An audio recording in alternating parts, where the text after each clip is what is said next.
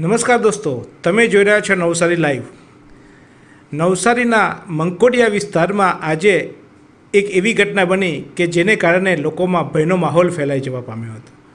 મંકોડિયા ખાતે આવેલી શીતલનગર સોસાયટીમાં આજે કોઈ ઈસમે આવી દસ દસ રૂપિયાની વીસ નોટો ત્યાં મૂકી ગયો હતો. આ નોટો કોણ મૂકી ગયું અને કયા ઈરાદાથી મૂકી ગયું તેની કોઈ જાણ થઈ નથી.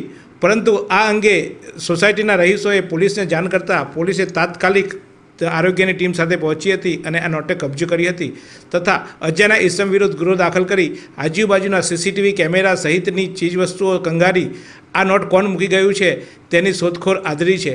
જોકે આવી નોટ કોઈપણ જગ્યાએ મૂકવામાં આવે તો આપ એમનો સ્પર્શ ન કરતા અને ખોટી અફવાઓમાંથી ન ફેલાતા એવી નવસારી લાઈવની સૌને અપીલ છે.